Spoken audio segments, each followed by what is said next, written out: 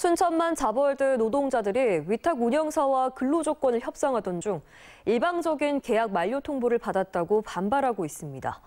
순천시는 해당 운영사 측의 인력 운용에 경고 조치를 내리는 한편 적절한 계약 만료였는지를 확인하기 위해 회계 감사에 착수했습니다. 강서영 기자입니다.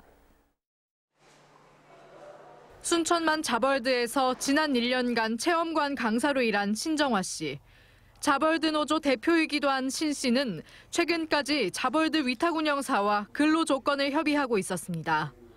사측은 노조에게 근무 시간 감축을 제시했지만 노조 측은 조례 위반이라며 반발했습니다. 그러자 사측은 의견 수렴 기한이 지나기도 전에 신 씨와 노조원 5명에게 계약 만료를 통보했습니다.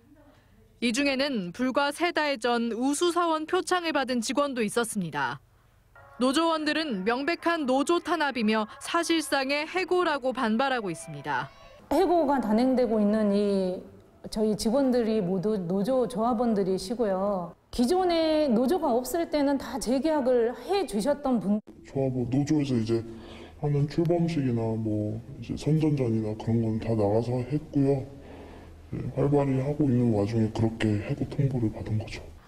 반면 위탁 운영사 측은 노조 탄압이 아닌 자연스런 계약 만료의 과정이라고 반박하고 있습니다.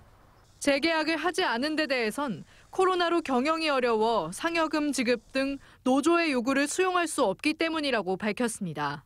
우리가 탄력적으로 직원을 어, 이렇게 감원 또는 더 늘릴 수도 있다는 부분은 제 권한이라고 한편 순천시는 위탁 운영사가 지자체의 사전 승인을 받지 않고 구조 조정을 통보한 건 협약 위반이라며 얼마 전 운영사에 경고 조치를 했다고 밝혔습니다.